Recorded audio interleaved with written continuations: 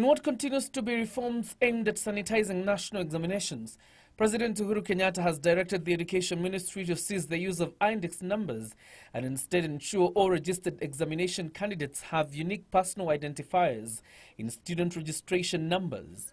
President Kenyatta says the students will use the personal identifiers throughout the presence at all levels in the country's education system. Now that with effect from 2017, the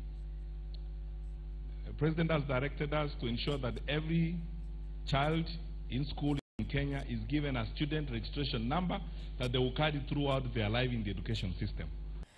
The head of state further directed the Education Ministry to put in place effective plans to institutionalize the ongoing reforms in the sector to ensure sustainability and entrenchment, saying there was no room for sliding back on the reforms. In the reforms, the ministry will speed up the implementation of education information management system planned to ensure that education data in the country is accurate, current and available to facilitate accurate decision making and deployment of resources. Education Cabinet Secretary Fred Matiang'i says the speeding up will eradicate malpractices in the marking and relaying of results. I want my colleagues who are here in the education sector to get me loud and clear. This is the way we are going to operate.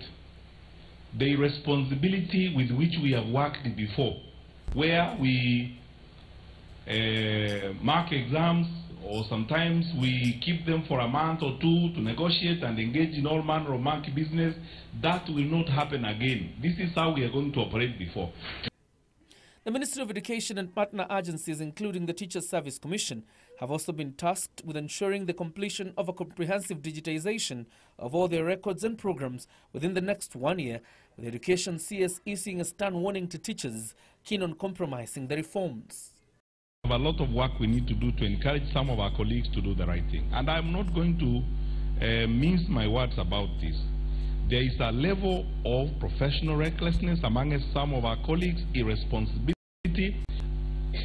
Eight or nine out of ten teachers in the country are very serious people, ready and committed to do their work. Why should we allow one out of ten people to hurt the reputation of a noble profession? It is obvious that teachers play the most critical role in inculcating the right values in our children at the right age. If our teachers do not instill the values, we, we can be sure that all attempts by other socializing agents can only achieve limited success. I took time to look at the scripts. Mimi siongegi bila, I am not briefed. I have not slept for I don't know how many days. And you find the child has nothing to write. So we as teachers, some of us are guilty as charged. Are you one of them? And if you are one of them, it is between you and your God. Can we stop destroying our children?